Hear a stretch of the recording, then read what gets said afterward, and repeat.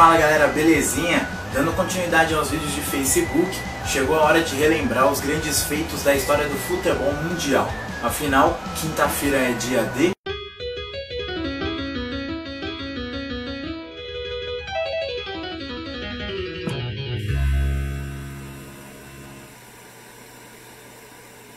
seguindo no embalo da goleada sobre o São Paulo e do jogo de ontem contra o Jorge Wilstermann, chegou a hora de relembrar uma temporada lendária para o torcedor palmeirense. Trata-se do ano de 1993, data do fim do jejum e o início de uma era muito vitoriosa para o Alviverde imponente.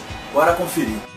Para entender melhor esse fim de jejum, a gente precisa voltar um pouco no tempo. Afinal, foram 16 anos de angústia Nesse tempo, derrotas amargas, poucos jogadores para admirar e muita gozação dos rivais. Para piorar, o Corinthians ganhava seu primeiro brasileiro e o São Paulo colecionava conquistas internacionais. É, o início da década de 90 estava sendo terrível para o torcedor palmeirense. Só que foi justamente nessa época, graças a uma dourada parceria com a Parmalat, que o Verdão começou a virar o jogo. E em 93 o Palmeiras não ganhou um, mais três títulos, sendo dois em cima do maior rival. De quebra com futebol bonito, pra frente e envolvente. Não tinha ninguém que conseguia parar o Palmeiras de Edmundo, Zinho, Evair e companhia. Muitos até consideram aquele o melhor Palmeiras que já teve.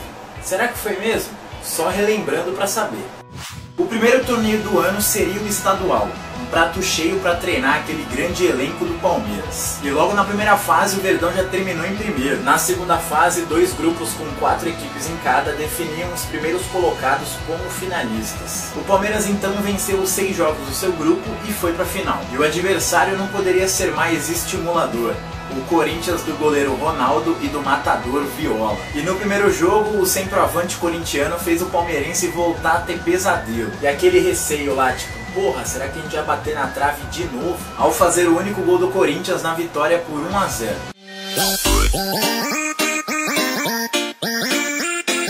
A partida de volta foi toda do Palmeiras. Ainda na primeira etapa, Zinho abriu o placar para o Verdão. Nos 45 minutos finais, primeiro com Evaí e depois com Edilson, o Alviverde ampliou. Em uma decisão normal, o Palmeiras já seria o campeão pelo saldo de gols mas o jogo foi para prorrogação. O time poderia não fazer gols, que mesmo assim seria o campeão. Só que Evair deixou a marca dele e enterrou um jejum palmeirense com um belo 4 a 0. Pouco tempo depois da conquista estadual, veio o extinto Rio São Paulo. E o Verdão foi com tudo em busca de mais um título na temporada. E sem dar chances a ninguém, Palmeiras e Corinthians lideraram seus respectivos grupos, o Alvinegro no grupo A e o Alviverde no grupo B, e se reencontraram em mais uma final.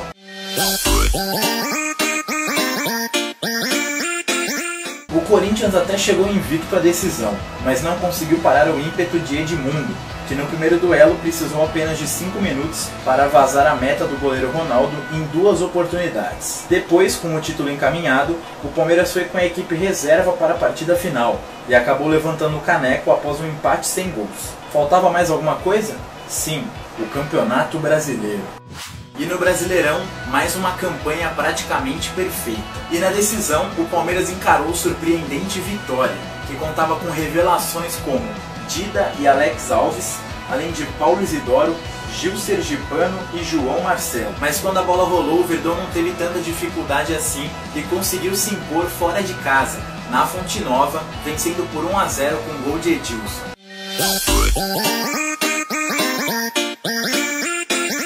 Na volta, exatos seis meses depois do título paulista, o Palmeiras voltou a encontrar o Morumbi abarrotado, onde mais de 88 mil pessoas vibraram com a ótima atuação da equipe, que matou o jogo em apenas 45 minutos. Primeiro aos 4 com Evair e depois aos 23 com Edmundo. Enfim, o Verdão voltava a comemorar o título brasileiro. Era o terceiro título no ano, e para quem tinha ficado longos 16 na fila, não era nada mal. Bateu uma saudade, né? Bom galera, por hoje é isso, espero que vocês tenham gostado. E antes de encerrar, não esquece de curtir a página aqui no Facebook, para não perder os próximos vídeos nem as próximas postagens. Marca seu amigo, sua amiga palmeirense e deixa seu like aqui embaixo, que isso é muito importante para mim. Ah, e não deixa de se inscrever lá no canal, hein? Quinta que vem eu tô de volta.